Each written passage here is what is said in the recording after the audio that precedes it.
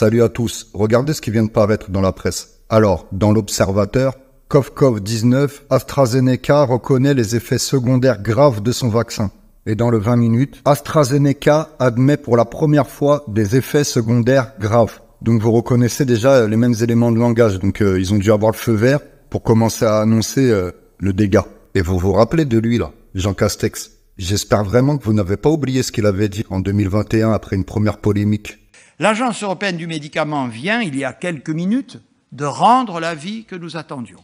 Il confirme que le vaccin AstraZeneca est un vaccin qui est non seulement très efficace pour lutter contre l'apparition de formes graves de la maladie, mais aussi un vaccin sûr, sans danger. Sans danger. Et demain matin, la haute autorité de santé française, qui est chargée dans notre pays de formuler les indications de tel ou tel vaccin, actualisera sa recommandation s'agissant du vaccin AstraZeneca afin que nous puissions reprendre immédiatement, dans la foulée, dès demain après-midi, la campagne de vaccination.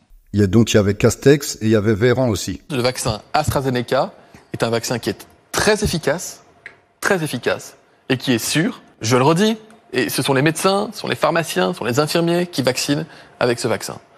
61 000 Français ont été vaccinés par AstraZeneca sur la seule journée de vendredi. Alors lui, il s'est barré dans la chirurgie esthétique, tu m'étonnes. Donc euh, inutile de vous dire que si vous ne voulez pas finir comme ça, bah n'allez jamais le voir.